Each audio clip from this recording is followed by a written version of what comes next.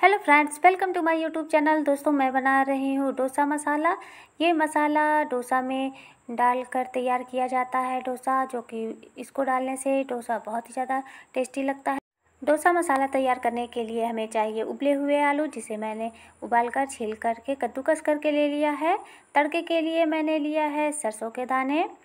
सरसों के दाने से हम तड़का देंगे और अदरक, लहसुन, मिर्ची को कूट करके ले लिया है। लंबी लंबी प्याज काट कर और कड़ी पत्ता, चार टमाटर काट कर ले लिया है। देगी मिर्च लिया है, हल्दी पाउडर और सांभर मसाला लिया है। नमक लिया है स्वादानुसार और हरी मटर। अभी एक कढ़ाई में हम तेल गरम करेंगे। तेल गरम हो जाए तो हम इसमें डाल देंगे सरसों के दाने। ये चटकने लगे तो हम इसमें डाल देंगे।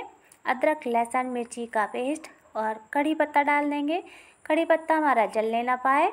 इसमें हम डाल देंगे प्याज। प्याज हमें बहुत ज़्यादा नहीं भूनना है, बस हल्का सा ही भूनना है। ये सॉफ्ट हो जाए बस। और इसमें अब हम डाल देंगे टमाटर। और सांभर मसाला डाल देते हैं, हल्दी पाउडर, देगी मिर्च डाल देंगे, नमक स्वाद अनुसार डाल देंगे। नमक डालने से टमाटर जल्दी सॉफ्ट हो जाएगा। अब हम इसमें डाल देंगे हरी मटर। मटर से ये मसाला डोसा बहुत अच्छा स्वाद आता है और देखने में भी बहुत अच्छा लगता है। आलू डालकर हम इसे बराबर चलाते हुए भूनेंगे। सारी चीज़ें मिलने तक हमें इसे भूनना है। अब हम इसमें डाल देंगे कटी हुई पनीर। पनीर से इसका टेस्ट बहुत अच्छा आता है। हमें इसे बहुत ज़्यादा नहीं भूनना है। अभी ये सारी चीज़ें मिल गई हैं और ये मसाला बन कर के तैयार है। हम इसे निकाल लेंगे एक बर्तन में। ऊपर से हम डाल देंगे कटी हुई पनीर और प्याज के कुछ टुकड़े। हरी धनिया डाल देते हैं। ये मसाला डोसा के लिए एकदम परफेक्ट बन करके तैयार है।